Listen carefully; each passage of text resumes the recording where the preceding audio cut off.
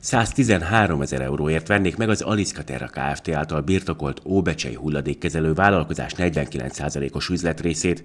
A Szexárdi önkormányzat cége ugyanezért az üzletrészért 2008-ban közel kétszer ennyit, 223 ezer eurót fizetett.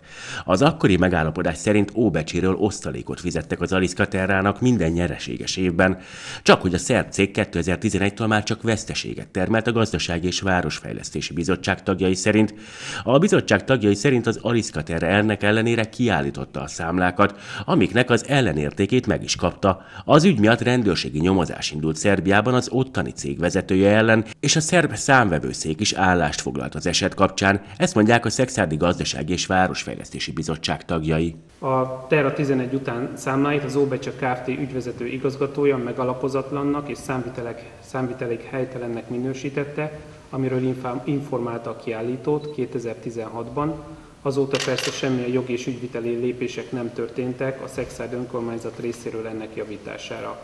A szerb állami számvevőszék jelentése is megerősítette, hogy az Aliszka Terra számlák nem jogszerűen lettek kiállítva. A Gazdasági és Városfejlesztési Bizottság tagjai úgy számolnak, hogy az Óbecsei cég az elmúlt években nagyjából 65 millió forint veszteséget termelt, és részben a mintegy 380 ezer eurót kitevő hitele miatt jelentős mértékben csökkent az értéke is. Ki lehet jelenteni, hogy az Óbecsei Kft. értékesítésével Szexárd városa megszabadul egy veszteséges, erőforrásokat feleslegesen lekötő tehertől. A Gazdasági és Városfejlesztési Bizottság tagjai tehát azt tanácsolják a közgyűlésnek, hagyja jóvá a szerb üzletrész eladását.